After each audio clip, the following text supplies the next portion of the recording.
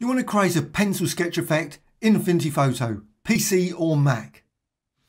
Well, I'm going to use selection, so I'm going to go to select and down to tonal range, and I'm going to go with midtones. Select midtones, and you now can see the selection all the way around this image.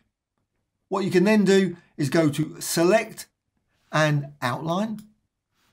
Now this document is about 3,800 by 2,400.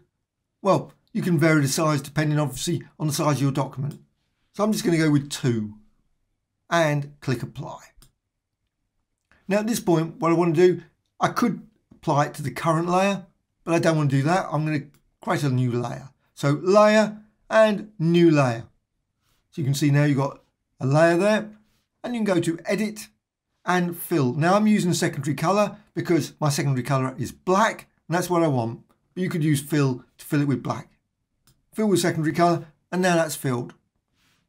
So I'm just going to go to select and deselect. Obviously I don't want the selection anymore. And you can see now you've got your sort of pencil sketch effect. However, of course you've got the color there. You might not want that. What you can do, you can just deselect it over here. And you can see now you've got your pencil sketch design. Very quick and easy. However, what you can also do, of course, you can apply filters, effects, modify it, maybe blurs, maybe apply it a number of times. Many, many options. So maybe you always duplicate this. So say layer and duplicate. So you can obviously create another one. Go back to this one. Maybe go to filters, blur and Gaussian blur and just add a bit of a blur there. Just vary that and so on. There's a number of variations you can do to create maybe a slightly more interesting sort of sketch effect. Also, of course, you can modify the lines, maybe smudge them, etc. Hope you found this of interest. Thank you much.